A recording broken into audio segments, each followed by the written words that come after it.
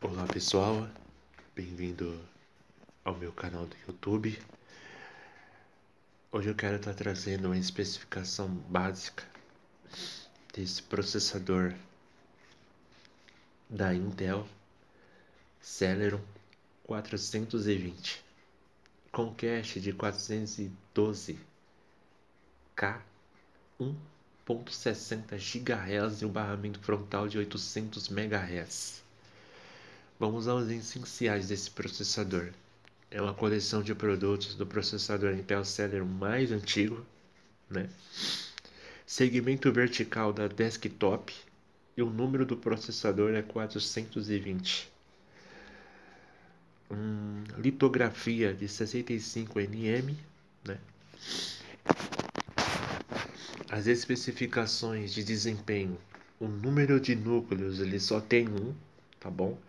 Frequência baseada em processador é 1.6 GHz, o cache 512 KB L2 de cache, ou seja, não chega nem um MB de cache, né? Velocidade do barramento desse processador é 800 MHz, né? Hum, paridade FSB não tem, né? Hum, informações complementares, opções integradas disponíveis não, né? Espe é, especificações de encapsulamento, soquete suportado somente para placas mães LGA 775, tá bom? Hum, tamanho do núcleo de processamento é 77 mm e número de transistores de núcleo de processamento é 105 milhões.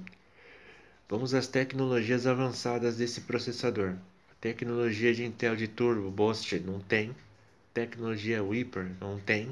Tecnologia de virtualização da Intel não tem. Tecnologia de virtualização para Intel da ES é, dirigida para VT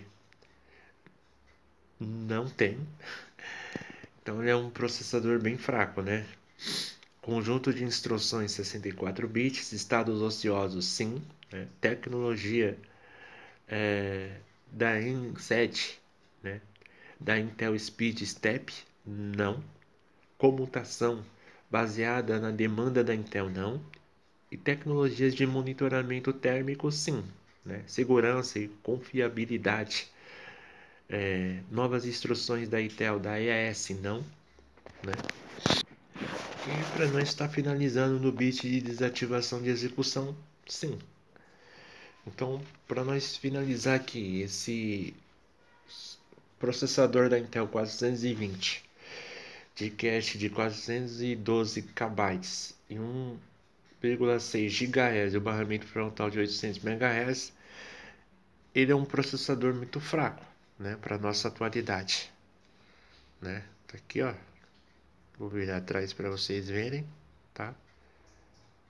Então, tá aí, pessoal, é uma especificação básica desse processador. Só para vocês terem aí mais ou menos uma noção como que funciona. Espero que tenham gostado desse vídeo.